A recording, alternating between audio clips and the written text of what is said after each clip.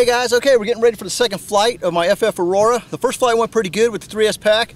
Um, we clocked it, what, 97.6 miles an hour, I think? Yep. So now we're gonna run it with the 4S pack with the 6 5.5 prop. And again, this is the uh, Monster Jet prototype. That's a 2400 kV motor. So I'm hoping it'll break into the 100 mile an hour mark. Uh, we'll see how it goes. Hopefully it's got enough thrust though.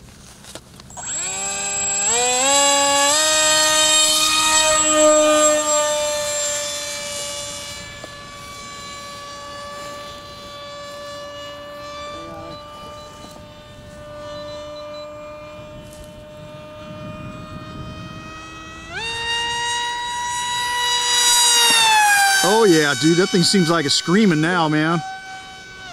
I definitely think you picked up some speed. Yeah. That motor sounds like it's winding up big time.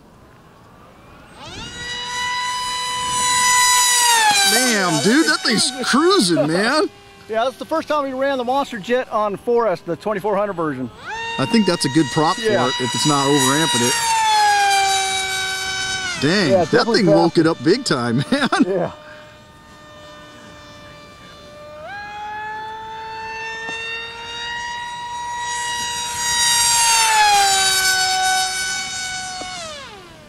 Just cool down. Yeah, you don't want to do it more than about 10 seconds. I only have a 60 amp ESC and actually I didn't do a watt and amp meter on the Yeah, don't forget you only one. got an 1800 milliamp battery in there too. cool down lap. So I definitely like this plane though. It feels like it's flying pretty good. Okay, here we go. So that 4S definitely made a big difference, man. The sound too. Yeah. It sounds a lot meaner, man.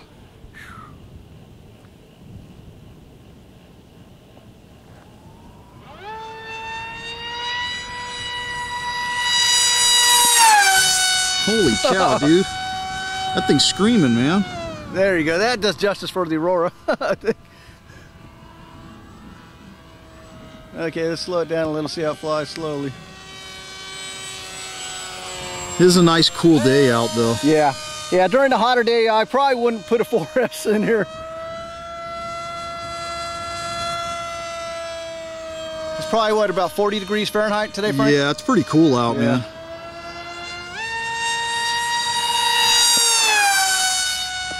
Sounds cool, man.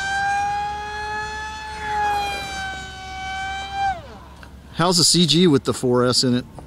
It came out uh, about perfect. I just slid it back a tiny bit.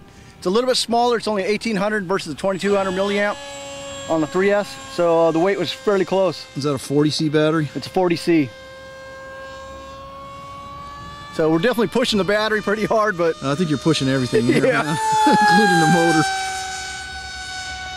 But I'm very happy with the way this uh, plane's flying so far on the uh, initial flights.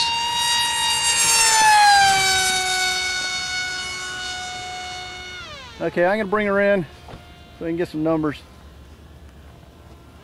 Let's see, I actually need to bring it in this way, huh? The wind changed. Yeah.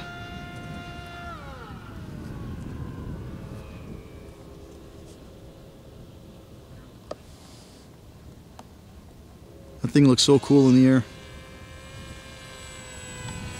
Looks like it slows down nice too. Oh man, like a parachute landing. Let's see what the GPS numbers are. Okay guys, uh, plugged in for 6 minutes 24 seconds. Flew 3.28 miles. Top speed 103.8. Man, it sure seemed like it was going fast. Yeah, it seemed like it's faster, but uh, I guess the that's what the GPS recorded, 103 miles an hour. So it did break into the triple digits, so I'm still happy. That's pretty good, man, for a foam board plane. Yeah, and it's a pretty good size wingspan on this one. All right, guys, that pretty much finishes up the uh, second flight that I did with the uh, FF Aurora. Um, those were the first two um, flights that I did with the plane, and I was pretty happy because it flew pretty good right off the uh, bat, or the first toss I threw it in the air. Um, I'm definitely happy with the way these uh, Monster Jets are performing, and I hope um, they'll be out soon for you guys so you can start uh, getting them and making your own planes.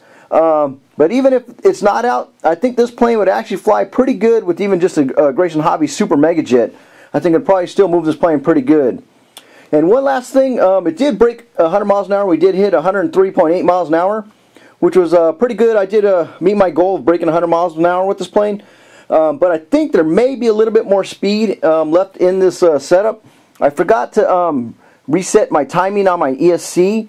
And on the other plane, I did that. I put it to high timing. And it seemed like it really made the motor um, fly a lot better. Give it a lot more power. So um, I'll probably do a few more tests. I'll take it back out there with the ESC set at uh, high timing.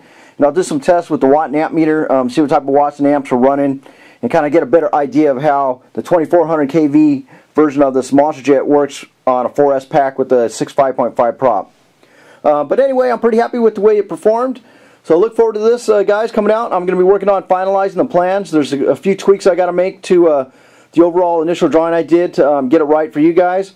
Um, but once it does uh, get finished, I'll announce it and uh, let you guys know.